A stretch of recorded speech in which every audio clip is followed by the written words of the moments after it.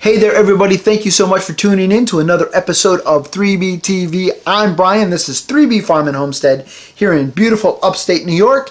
And with me again today is my wonderful son, Brian Wells Jr. And today with me is my wonderful father, Brian Wells Sr.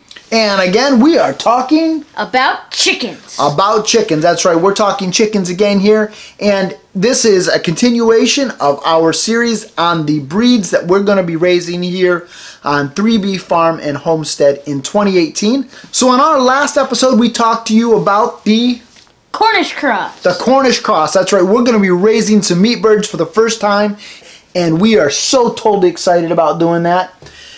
On this episode, we are going to tell you about the next breed of chicken that we are going to be raising here in 2018, and that breed is Buff Orpingtons. Buff Orpingtons. That's right, folks. One of our absolute all-time favorite breeds. We absolutely love Buff Orpingtons for a number of reasons. What are some of the reasons we love Buff Orpingtons? Well, they're mellow, peaceful, and they look very nice. That's right. They are very, very chill birds, and they are absolutely, in my opinion, some of the most beautiful birds that exist. Uh, when the sun hits a buff Orpington just right, it is just absolutely gorgeous. And they've just got such a great temperament. They're just such a great, great bird Even the roosters.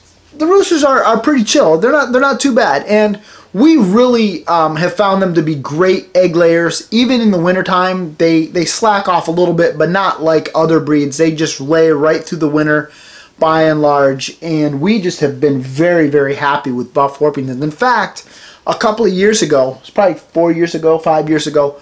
We went straight Buff Orpingtons for an entire season. Um, Actually, entire three seasons. was it three seasons? Yeah, three seasons in a row, entirely Buff Orpington. Three seasons in a row, we went straight Buff Orpingtons. And now we're kind of mixing in some other breeds, uh, and we have for the last couple of years. But yeah, we went straight Buffs. I love them so much. They're actually my all-time favorite chicken. Brian has another breed that he loves that we're going to talk about on the next episode.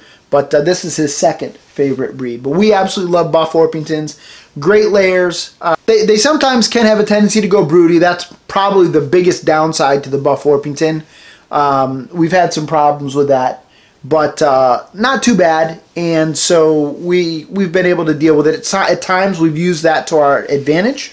We've raised out a, a couple of um, batches of chicks using some broody uh, Buff Orpington hens. But uh, by and large, we, we've gotten away from raising out our own chicks and uh, just really, really love the Buff Orpingtons in general. So until next time, everybody, I'm Brian. And I'm Brian. Please like Share and subscribe. to 3B TV. We'll catch you later.